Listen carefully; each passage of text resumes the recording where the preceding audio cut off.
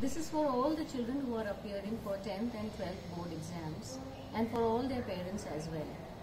Gone are the days when we had very limited careers to opt for.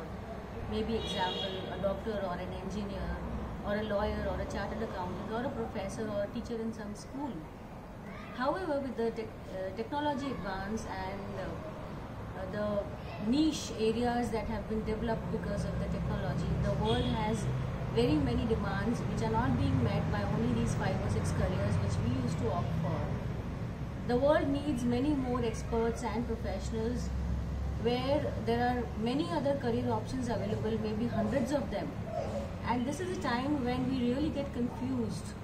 What is the right choice for me as a professional or as a as an expert?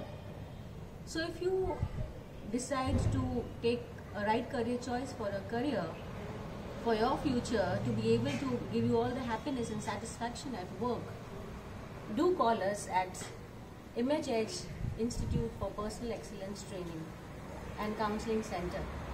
Thank you so much.